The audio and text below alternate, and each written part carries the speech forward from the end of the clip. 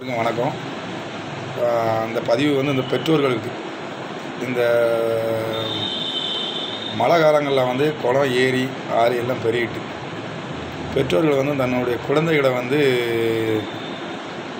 குடிக்கிறதுக்கு வந்து அனுமதிக்காதீங்க. அதாவது தயவு செய்து வந்து அவங்க எங்கே போகிறாங்க என்ன பண்ணுறாங்க கொஞ்சம் வாட்ச் பண்ணுங்கள் இன்றைக்கி ஒரு சம்பவம் நடந்தது தென்காசியில். மதுரையிலேருந்து பசங்க வந்திருக்காங்க குரூப்பாக காலேஜ் பசங்க.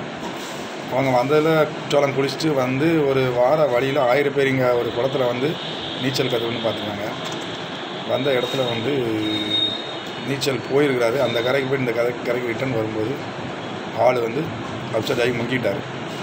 அப்புறம் நாங்கள் ஃபயர் சர்வீஸ் தான் போய் தேடி அவர் பாடியை எடுத்தோம். எதுக்கு சொல்ல வரேன்னா நீச்சல் தெரிஞ்சவருக்கே இந்த கதைனா நீச்சல் தெரியாமல் எத்தனை பசங்க சின்ன பசங்களாம் இந்த குளத்தை பார்த்தோன்னே அவங்களுக்கு குளிக்கணும்னு தோணும். கிணறு. அதை மாதிரி கால்வாய் இந்த மாதிரி உள்ள பார்த்தோன்னே குளிக்கணும்னு தோணும். அந்த இடத்துக்கு வந்து பெற்றோர்கள் வந்து மேக்சிமம் அவங்கள வந்து அனுமதிக்காதுங்க தயவுசெய்து.